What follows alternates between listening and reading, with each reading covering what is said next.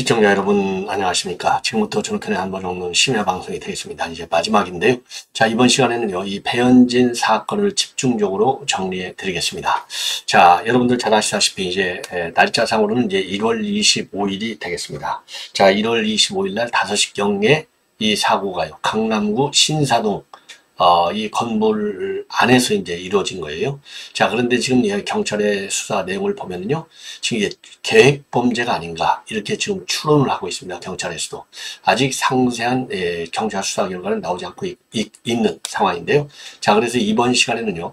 이 전반적인 상황 이제 뭐 계속해서 이 보도가 나오기 때문에 지금 이 시간이 이제 새벽 1시가 넘어서 뭐 제가 종합적으로 정리해 드리도록 하겠습니다. 그래서 지금 진찰 상황으로 보면은 예, 정신에는 아무 이상이 없다. 아, 그리고 지금 이 열상, 그러니까 이제 가벼운, 그래서 1cm 정도의 열상이었고, 봉합 수술을 두, 봉합, 예, 수술을 두번 했다. 예, 두, 이렇게 지금 되어 있어요.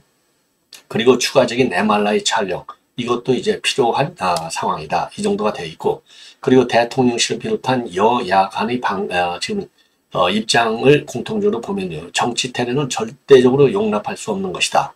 아, 그래, 그래서 철저한 이 범행의 동기라든가 배우를 찾아내야 되겠다. 이게 이제 공통적인 반응이 되겠습니다. 뭐 당연한 것이죠. 그리고 이제 한덕수 총리는 어, 지금 국회의원들 이제 총선을 앞두고 안전을 좀 확보하는 대책을 적극적으로 강구해야 되겠다. 이런 입장을 내놓고 있습니다. 그리고요, 지금 이제 국민의힘에서 내일 의총을 열어서 어, 각별 유의를 당부하는 이런 어, 이, 어, 어, 일정을 가질 예정으로 있습니다. 자, 그래서 이번 시간에는요, 대통령실의 입장 그리고 한동훈 그 다음에는 이제 이재명의 입장을 조금 자세하게 말씀을 드리도록 하겠고요. 지금 이 외신도 지금 난리가 났습니다. 외신도 전부 타전하고 있고요. 그리고 이제 이런 문제가 생기면 이제 법례심리학 어, 이수정 예, 경기대 교수가 또 뭐 약방의 감초처럼 또 한 마디씩 평가를 하는데 자 이 원인이 성별 차이에서 오는 그런 원인일 수도 있다. 왜냐면요. 지금까지 범인은 15살짜리 중학생으로 알려져 있어요. 신사동 그 사고 현장 인근의 학교에 다니는 학생으로 알려져 있는데 요 남학생이기 때문에 이 배현진 의원은 여자니까 이렇게 이제 에, 지금 이제 이 범행을 저질렀다. 그러니까 이제 허은하 의원이 무슨 성별 차별을 하느냐? 예. 여기 이 논리를 가지고 이제 바로 또 직격을 가하고 있어요. 예. 그래서 이러한 그 지금 이 전문가들의 이 평가도 함께 여러분께 전해드리도록 하겠습니다. 그리고 이번 시간에는요, 지금 이제 이 자료들이요, 어, 지금 언론의 예, 보도가 아주 자세히 되고 있어요. 자, 그래서 이제 동영상하고 어, 정사진이 예, 어, 지금 보도가 많이 되고 있는데 한번 전부 다 보여드리기로 하겠고 그리고 요거는 이제 의사들 이번에는 아주 신속하게 의사들이 직접 브리핑을 했습니다. 그래서 어, 지금 순천향대학병원에 있거든요. 그래서 박석규 신경외과 교수가 아, 지금 이제 주치의로 되어 있어요. 집도의로 되어 있고. 그래서 박석규 교수가 직접 브리핑을 했고요. 그리고 이제 예, 순천향대학병원 장, 병원장도 또 배석을 해서 추가, 아, 지금 예, 브리핑을 도와줬어요. 이게 정상인 것이죠. 예, 그래서 요 내용을 이제 먼저 말씀을 드리면요. 지금 여러분들께서 이제 병상이 예, 과연 어느 정도 되느냐 이게 이제 제일 관심사항이 아니겠습니까? 자 그래서 요 내용을 여러분께 이제 말씀을 드리면요. 지금 이제 이 발표는 박석규 주치의가 직접 발표했습니다. 자 그래서 요 사건과 관련해서 대의원의 열상, 열상이 한 1cm 정도로 길지 않았다. 그래서 스테이플로 두 번 봉합했다. 아, 그리고 뇌 쪽에는 미세 출혈이 있을 수 있다. 그리고 아직 뇌진탕 증세는 없다. 그리고 이제 피습에 놀라서 좀 불안해하고 있는 상황이다.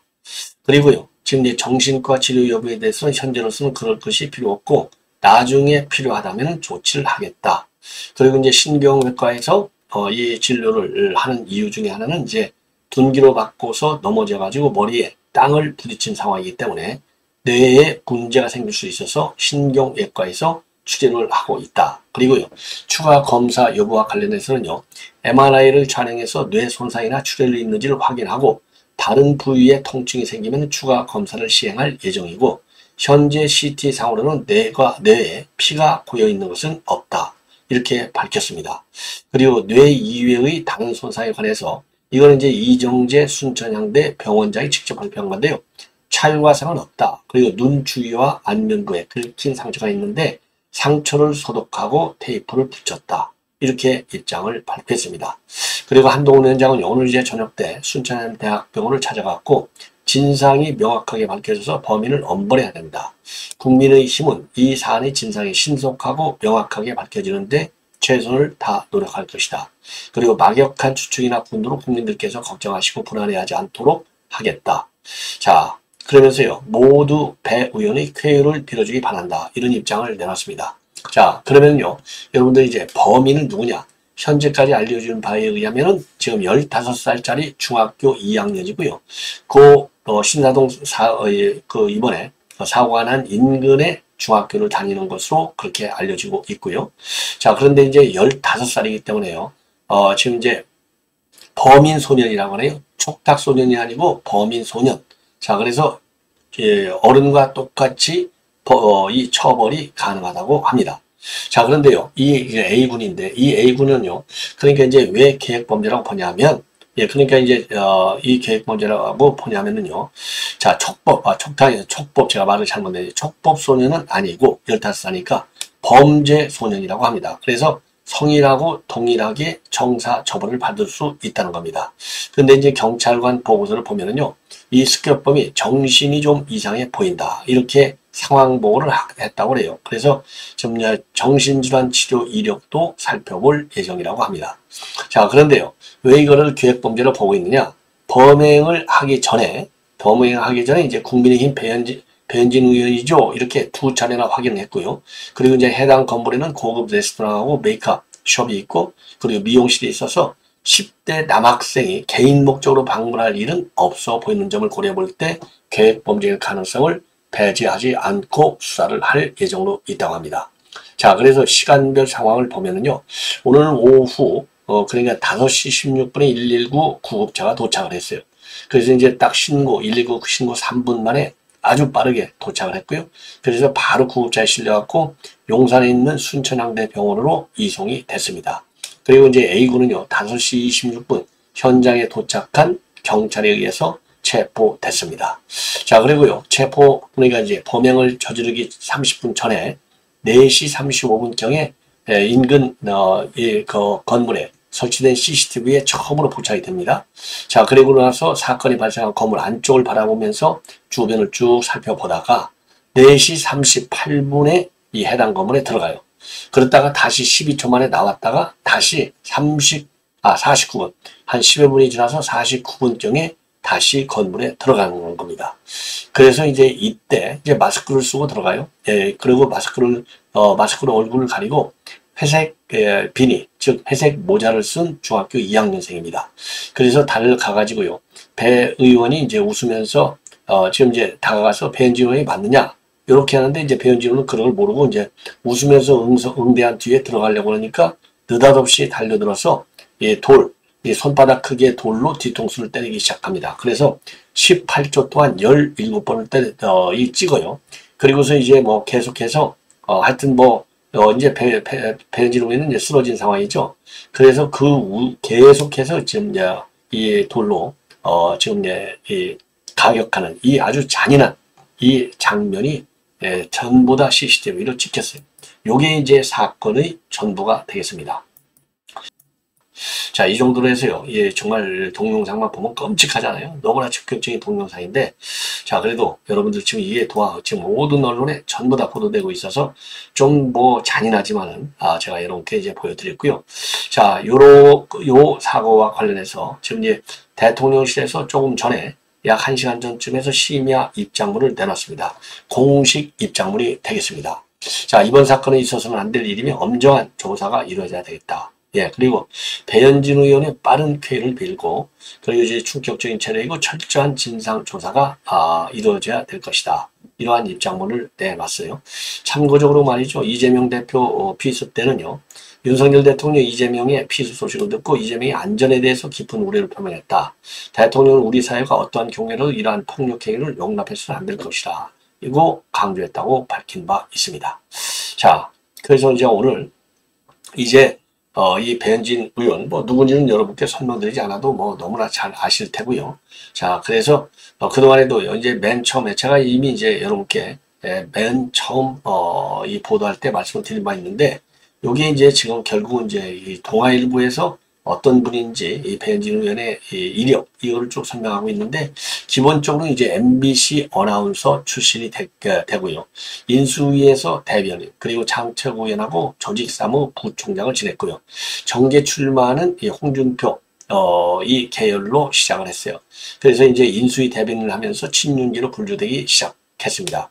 그리고 이인석 대표와 갈등할 때, 예, 이 비대위를 전할 때 맨 먼저 최고위원 중에서 사퇴를 한 그런 어, 어, 그 의원이 이제 배현진 의원이고요. 자, 그리고 이제 예, 김기현 지도부에서는 조직 부총장을 맡았어요. 에, 조직 부총장을 맡았고, 그리고 어, 지난번에 이제 당무감사원에서 평가를 할 적에 내부 1등을 한 의원, 현역 의원 중에서는요. 그리고 이제 검수완박 시절에는, 예, 검수완박 시절에는 이제 박변석 국회의장한테 당신이 얘기하는 민주주의가 이런 것이다. 라면서 거칠게 항의하면서 대중적 인지도를 많이 높였고, 대야 투쟁에도 적극 나서면서 대표적인 스피커 역할을 해온 그런 어, 의원이다. 이렇게 평가를 받고 있습니다. 자, 그 다음에는요, 이제 이번에는요, 지금 이제 이 한동훈 위원장하고, 어, 그 다음에 이 어, 이재명 얘기를 하겠는데요. 자, 한동훈 위원장은 앞에서 이제 말씀을 드린 대로 이미 이제 에, 그런 예, 얘기를 했고요. 그리고 이재명의 경우에는요, 이렇게 입장을 내놨네요. 이재명의 경우에는 조금 그 SNS를 통해서 내놨는데 한마디로 철저하고 단호하게 대응해야 되겠다. 그리고 믿을 수 없는 사건의 상처가 자리, 어, 저릿해 온다. 예. 이게 본인 얘기를 하는 것이죠. 그러면서 어떠한 정치체도 용납해서는 안 되고 배현진 의원도 조속한 쾌유를 기원한다. 그리고 염려하실 가족께도 마음 깊은 위로를 드린다. 이런 입장문을 내놨습니다. 자, 그리고요, 이제 당 대변인도 어, 지금 이제 강력하게 규탄하는 입장을 내놨어요. 뭐 당연하겠죠. 예.